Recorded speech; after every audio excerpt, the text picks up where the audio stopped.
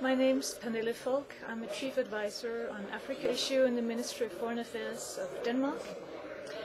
I uh, chose the subject, the subject of intergenerational dialogue.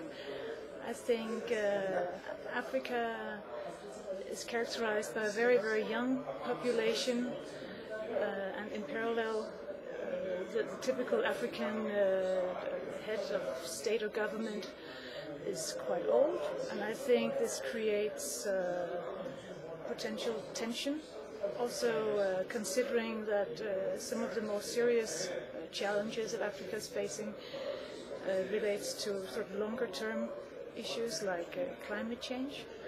So I think it's very important to, to engage the young people in a very constructive way to get their views on, on how to solve these uh, challenges.